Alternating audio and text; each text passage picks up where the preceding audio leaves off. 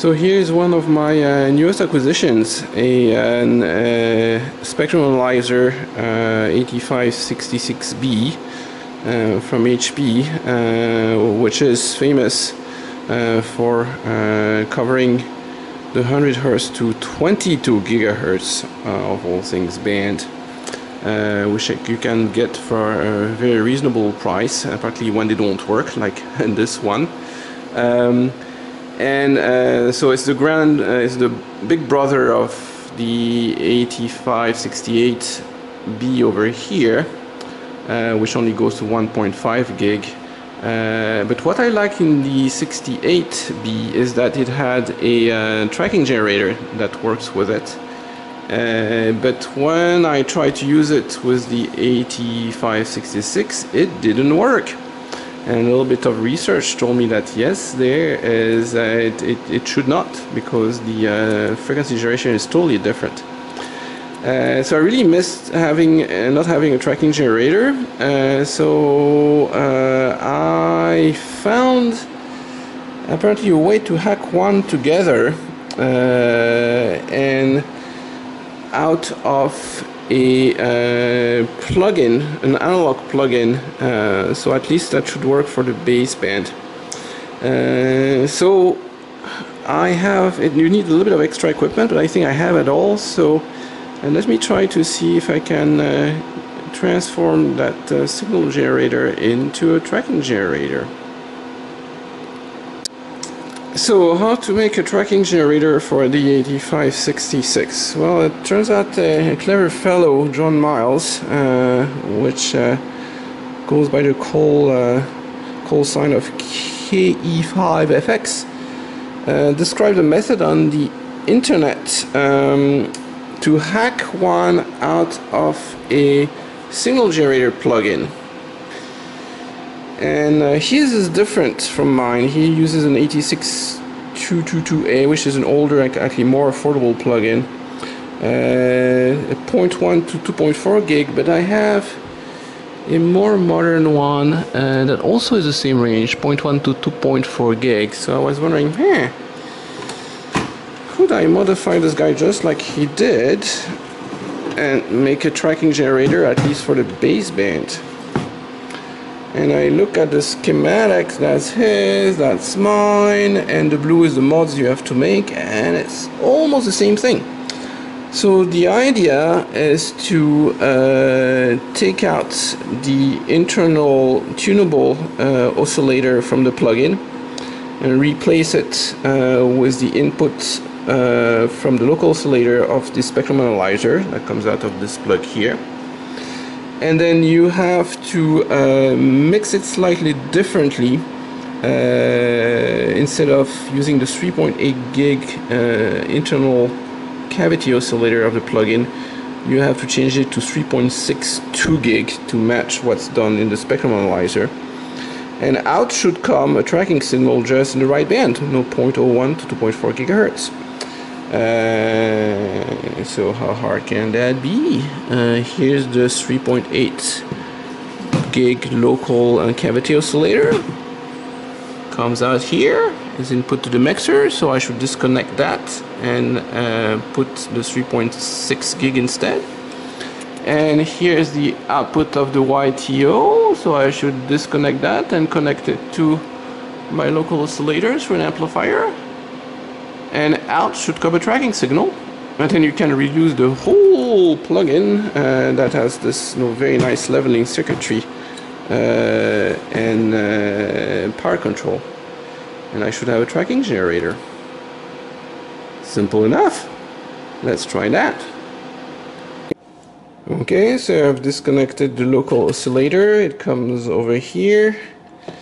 And the tunable YTO and it comes over here and we'll connect them to the right places on uh, for the, making the tracking signal.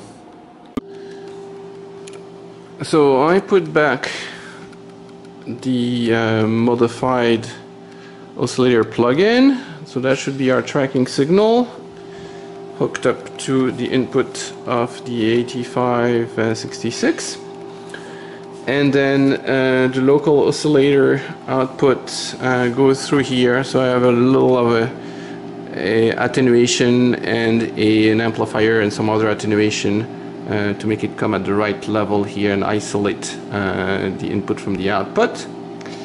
And then the other plug here is my uh, local 3.6 uh, whatever gigahertz uh, uh, first oscillator. So let's, I guess we just turn it on right at this point. See if we've made a tracking generator.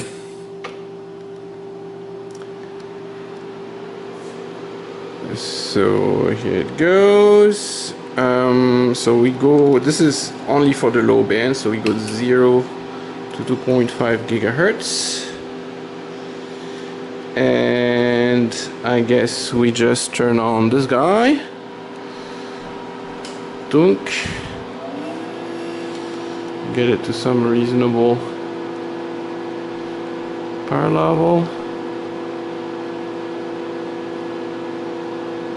Zero dBm let's turn RFs on so uh, guess uh, still nothing of course because I haven't turned on my local generator. So I preset that one to 3.62 3.6214 which should be the right thing. And well we just press the magic button here see what happens. Well you know seems to work it is not. Oh, it probably Yeah, it's scanning. So let's no scanning. Oh, there we go. I think we've just made a very fine tracking generator for the 8566 uh, reference level 10 dBm. There you go. Wow, it's pretty well leveled, and I, I bet you the the non-leveling that's my cable. It's a very large long cable it's probably not that great it's probably has some losses in it. Wow. This is very good. Um, let's see if we can uh, reduce the uh, resolution bandwidth here. There's 3 megahertz 1 30 kilohertz. Oh, this is a little slow. Uh, let's go center frequency 1 gigahertz. And uh, let's reduce the frequency span to something where it goes faster. Let's do 100 100 megahertz okay? And now resolution bandwidth 30 kilohertz. Uh, let's get 10 kilohertz.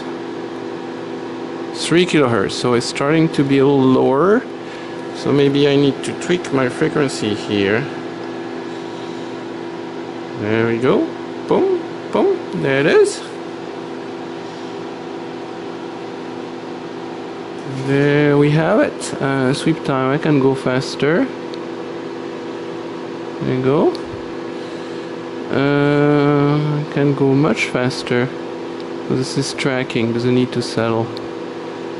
Okay, let's see on we can diminish the resolution bandwidth, see how stable that is. 3 kilohertz. 300 hertz. Okay, I'm not perfectly centered here. See, up. Oh. There you go.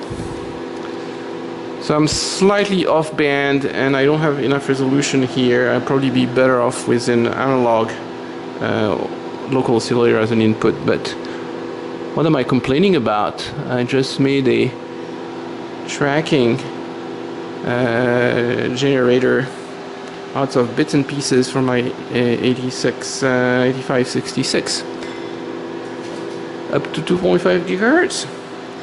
Well we'll call this hack a success.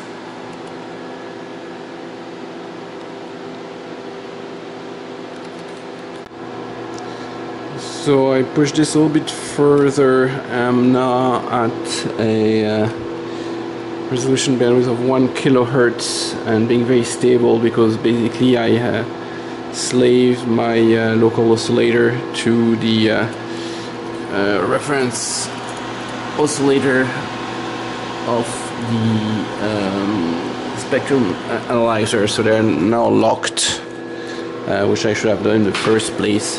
Duh. Um, so kind of gives me an idea of what the uh, dynamic range we have uh, so I can cheat a little bit and increase the power here. And go.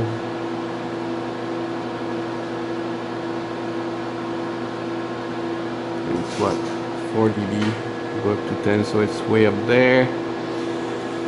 And now if I take this guy off that's the noise floor. So we are